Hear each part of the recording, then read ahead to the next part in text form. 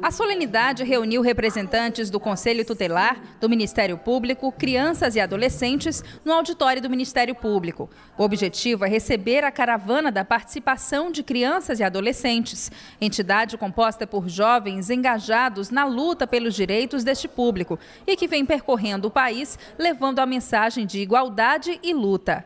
Emanuel, que é de Pernambuco, é um dos integrantes da caravana. O estudante explica que a ideia é avaliar e principalmente estimular a participação dos jovens nas discussões sobre seus direitos. A gente está aqui para potencializar essa participação e para puxar o máximo de, de, informações, onde, consequentemente, no final dessa caravana vai ser construído um livro sobre a participação de crianças e adolescentes no Nordeste. Felipe Caetano, representante do comitê, ressalta que o papel dos integrantes é trabalhar pela prevenção e erradicação do trabalho infantil, além de outras problemáticas. Quando a gente fala de trabalho infantil, não é só o trabalho infantil. A gente envolve vários outros meios, como por exemplo a exploração sexual de crianças e adolescentes, que é uma das piores formas de trabalho infantil.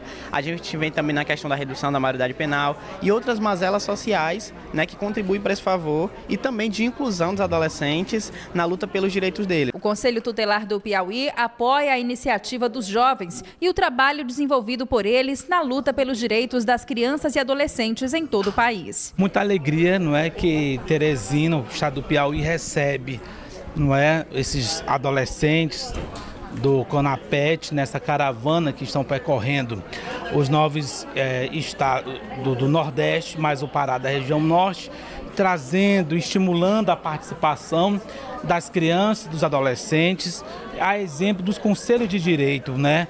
Ou seja, esse chamado dos adolescentes para que nós adultos, quando for debater, falar, formular a política da infância, eles também estejam presentes, eles também possam ser ouvidos.